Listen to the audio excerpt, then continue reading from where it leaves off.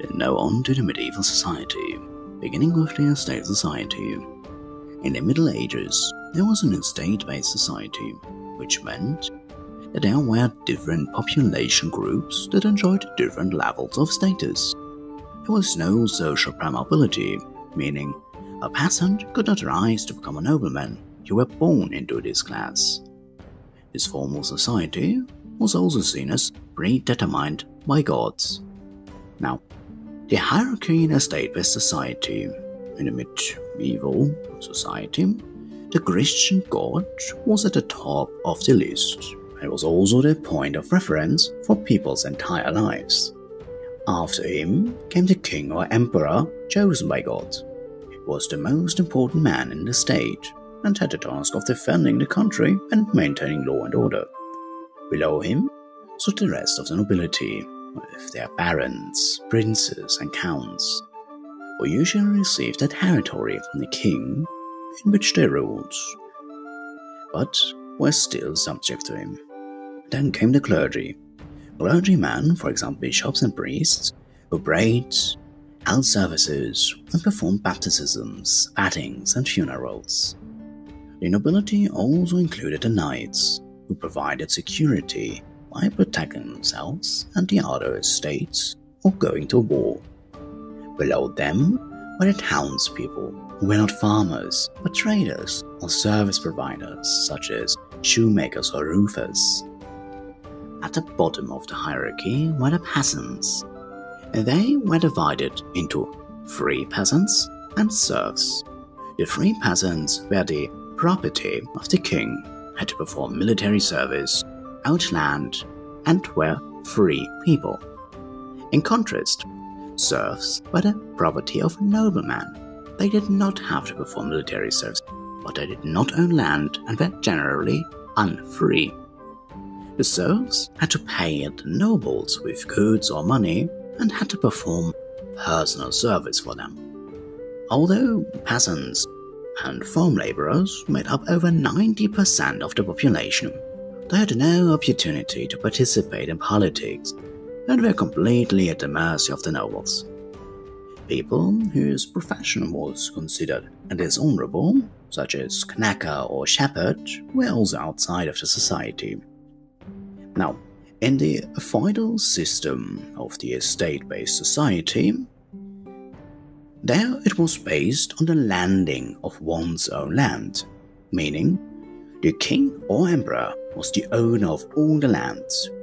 He could now lend his land to the nobility and clergy for life, or had to swear allegiance to him in return and support him in the event of war. They thus became his vassals. They in turn passed the land on to farmers, who cultivated the fields and paid taxes to their feudal lords. They swore allegiance to him. If a vassal received land from the king, he had to provide knights in case of war. The number was determined by the size of the land granted and the number of peasants. Now, the life in the countryside. As mentioned, over 90% of the population in Middle Ages worked on the land. In Norman times, many English villages had two large open fields divided into long strips. Each farmer was given some of these strips in both fields. Every year, the farmers cultivated one of the fields and left the other fallow, meaning that nothing was grown on the field and only grass grew on it. The farmers' animals could then gaze there, and the soil was supplied with fertilizer by the animals. The next year, the cultivated field was left fallow and the abandoned field was cultivated. Each village also had a communal area where the animals could gaze. In winter, however, there was not enough food, so most of the animals had to be slaughtered in autumn. They were preserved by salting them and were eaten or sold. Now, the landlord and the peasants. The landlord was the most important person in a village. He owned the fields, and the peasants had to pay him taxes in order to be allowed to work on his land.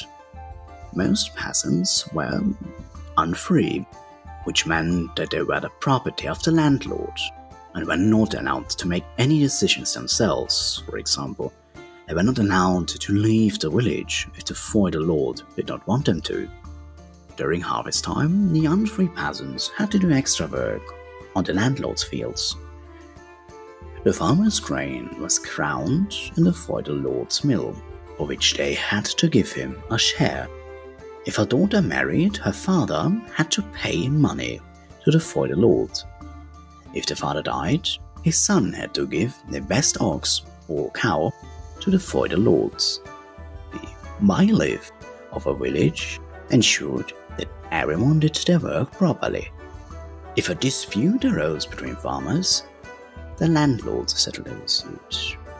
Now, talking about cities and trade in the Middle Ages, beginning with the life in a city, major changes in agriculture, such as three field farming, the plough, and the introduction of new tools and strong population growth enabled new towns to be founded. These were usually built near streams or rivers, castles or palaces, churches or monasteries, at crossroads and or near Roman towns. Medieval towns were usually built according to the same principle a town usually had four gates, pointing in the cardinal directions. In the center was the market square, where farmers could buy and sell goods. It was surrounded by the large town hall and a church. In the neighborhoods, there was craftsmen who offered their services in their own houses. The inhabitants of all neighborhoods had to defend their own section of the city wall in event of an attack. The inhabitants of the town were also part time farmers. They kept pigs and chickens in their houses. There were fields outside the town and gardens in the town where they grew foods. There were groups of people in the city who were not protected by the law. These included undertakers, Jews, actors, musicians, prostitutes, and executioners.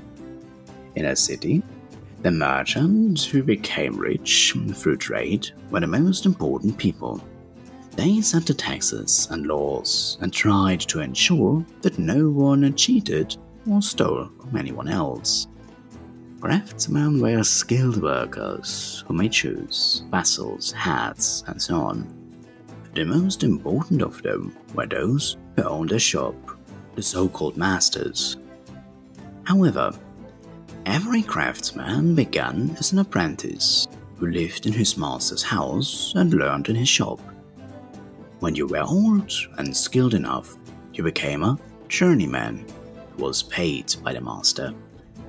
Every town in the 13th century had a guild for each main trade sector, to which the craftsman had to belong. A group of masters were leaders of the guild and regulated how a product should be made, how much it should cost, and what the apprentices should be taught. They gave money to members when they were ill and paid pensions to widows. The wool and clothing trade. English wool was the best in Europe. Lords and abbots kept large flocks of sheep and became richer from the wool trade. Merchants who brought and sold wool had large houses and wore expensive clothes. The richest merchants sold wool to Flanders, today's Belgium. The king himself often borrowed money from them. After the 14th century, cotton clothing was made by farmers in the countryside, which clothing merchants brought the wool to the farmers who spun the linen and wove the clothes. They received wages for this. Shortly after 1300s, the quality of English clothing in which wool merchants in Flanders, Spain, and France improved. The export of wool fell and the export of clothing rose.